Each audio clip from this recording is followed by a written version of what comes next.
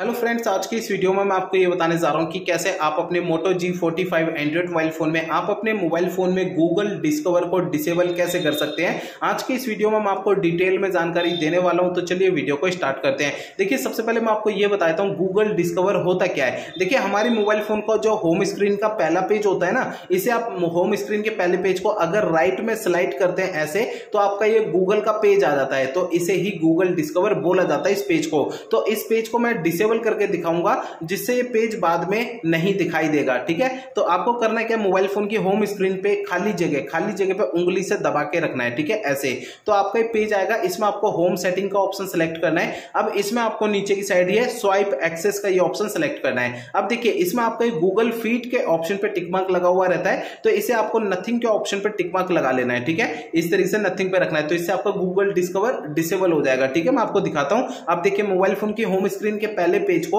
अब मैं राइट में स्लाइड करूँगा ना तो देखिए, पहले यहाँ पर जो है गूगल का पेज ओपन हो रहा था, अब वो गूगल का पेज नहीं आ रहा है। तो ये गूगल डिस्कवर सेटिंग जो है डिसेबल करने के बाद ऐसे काम करती है, ठीक है?